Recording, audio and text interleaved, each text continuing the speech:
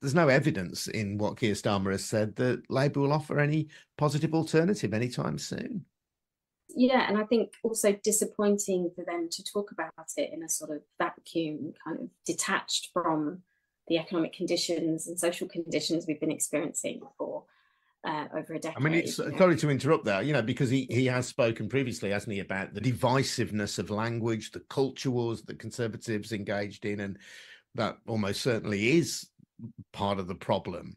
But it's not the only part of the problem. There is an economic situation underlying this.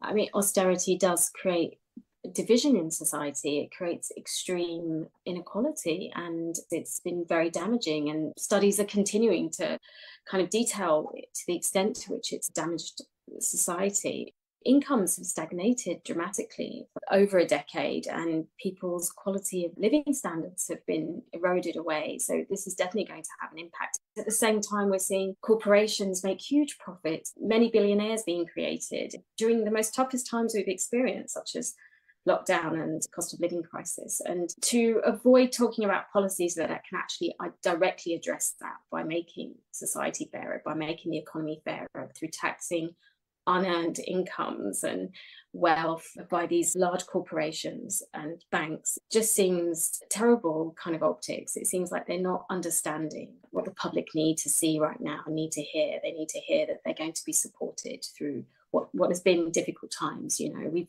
we've seen recent data on food prices, how much they've gone up significantly, and partly to do with the fact that there's such a concentration of large food corporations that can charge higher prices. And we need to see that we've got a government that can step in to talk about the different possible policies that can be used to protect people from things like that.